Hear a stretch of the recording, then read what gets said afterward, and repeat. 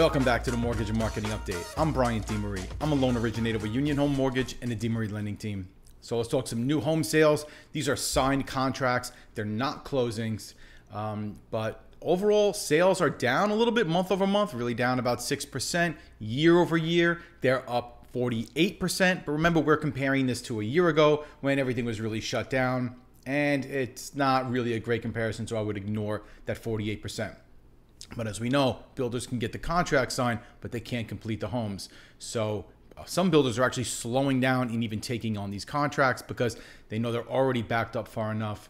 Uh, but anyway, median sales price up again, 372 400. That's 11% month over month. Year over year, it's 20%. Uh, so this is going to be a number that the media likes to grab onto, median sales price.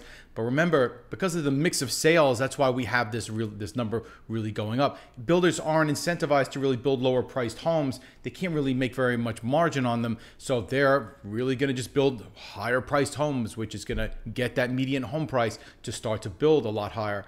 Uh, so we're going to see probably more of that as time goes on, especially as you know existing homes isn't going to seem to really give us any inventory for the current future next couple of months. Maybe that can change but we'll see how that goes. So as inventory is really compressed builders can't really give us a lot of inventory either. Why not create your own inventory? We have a product we call construction to perm. Basically we take the land we put this in with the build cost and then we roll all of this into one loan uh, conventional be 5% down uh, 640 minimum credit score. FHA is going to be three and a half down. Uh, 660 credit score. VA still 0% down. 660 minimum credit score as well.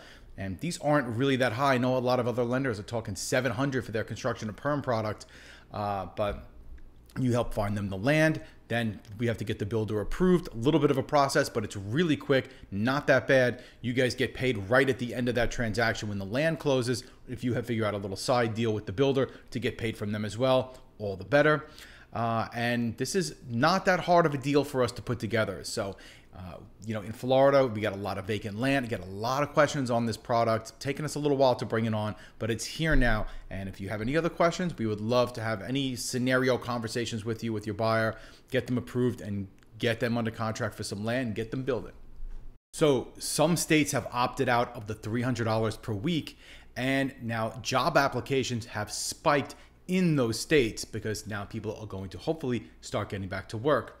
So 23 states have opted out of allowing this benefit to expire, which means it'll expire early.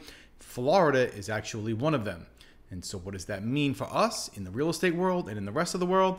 That means that it's a sign that things are hopefully starting to get back to normal. Uh, now, it'll relieve some stress on the supply chain. And this will create new buyers for homes. And if things are getting back to normal, hopefully those super valuable existing homeowners will be willing to move out of their house and move on to their next adventure. Keep in mind, there's a lot of folks that have, you know, kids that are older that have moved back into the house, whether that's from graduating college and not having a job to go to, or COVID just forcing kids back into their home. And if those kids can get jobs and move on from that situation, then the parents won't need as much room and as much space. Maybe they'd be willing to downsize or at least move on to another part of the state, country, town, whatever it is. So if you are getting something out of these videos, you don't even have to hit the like button. You don't even have to hit the subscribe button. I don't care about any of that. But we would love to do a deal with you guys, get you to a closing, and show you why we're different than anybody else in this marketplace. Easiest way to do that, send us a lead, is just by sending us over a text message with the buyer's name and their number. You can do a three-way text message introducing us that way. Uh, call that the white glove handoff. And you can also check out our videos on YouTube. All you got to do is type in my name. Instagram is where we are as well. Have a great day.